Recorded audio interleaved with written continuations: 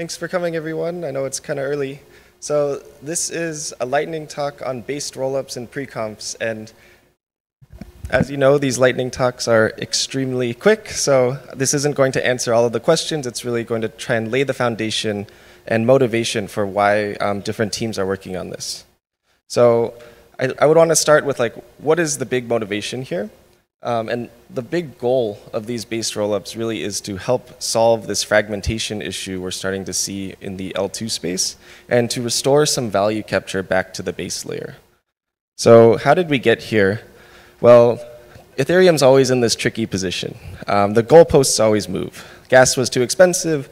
We created this rollup centric roadmap. We succeeded in offloading all of this execution. Things got cheaper, TPS increased, but ETH is dead. So we really want to try and address some of these problems head on. And the big focus of this talk is around fragmentation. So currently, these L2s aren't interoperable with each other. They fragment liquidity, they fragment users, they also fragment developers. You have to pick a winning ecosystem to deploy on or deploy across many, which starts to spread your resources. And what we're really seeing is this kind of convergence on what I'm calling intra-op. You have interoperability within your ecosystem, but not across these ecosystems. So how do we fix this fragmentation problem? Well, one easy solution is that we just agree on one entity to sequence all of these rollups. And that sounds pretty centralizing. So can we do this in a way that preserves a lot of the values that we care about? So enter based rollups. The idea here, um, this is a quote from Justin's paper. Um, the TLDR here is it's a based rollup when it's sequenced by Ethereum validators.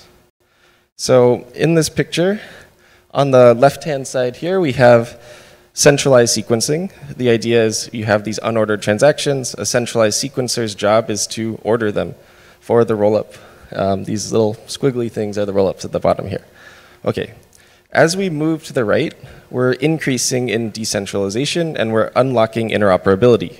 So with shared sequencing, you have multiple parties that are all agreeing according to some leader election mechanism on who has the ability to sequence all of the rollups.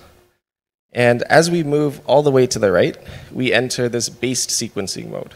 The idea is that the transactions for these L2s will be sequenced directly by Ethereum validators. And how does this help? How does this unlock interoperability?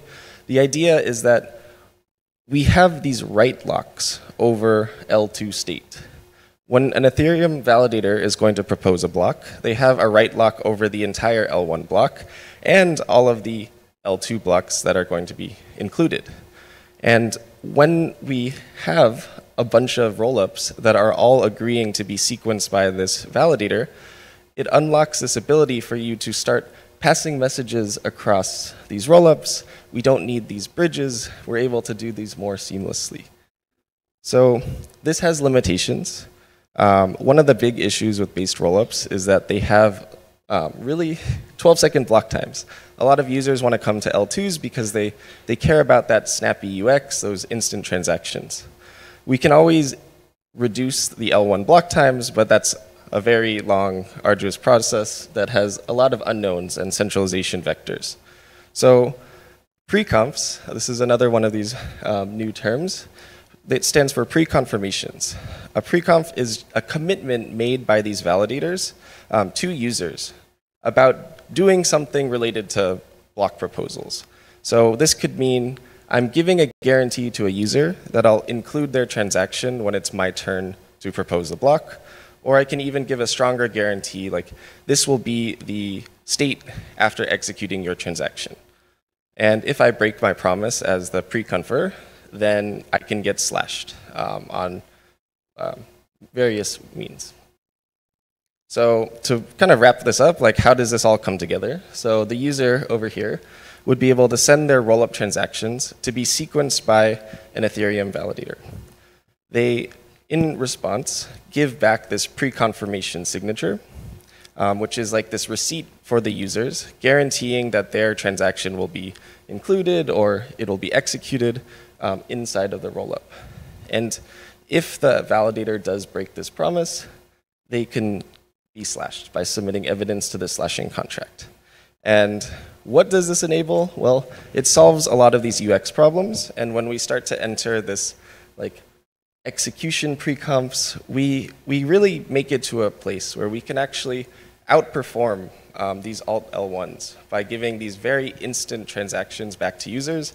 And this all comes without modifications to the base layer. So hopefully this maybe piqued people's interest on this topic. Um, but of course, in a, in a five-minute lightning talk, that's, uh, there's still many, many things to be explored. So thank you all for joining.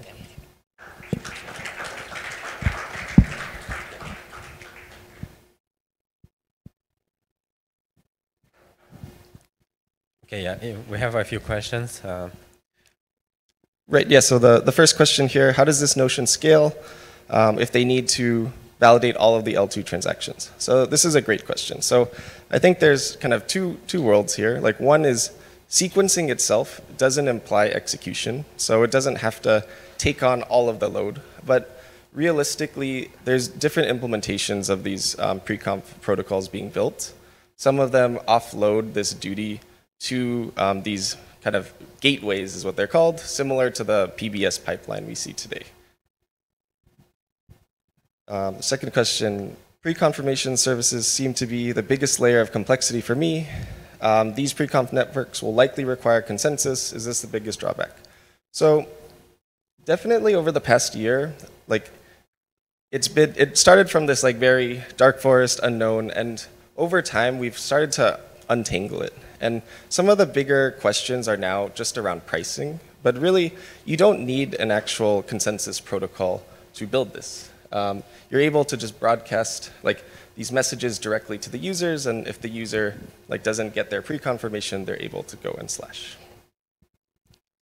okay, maybe one last question. Why is uh, Spire better than Puffer?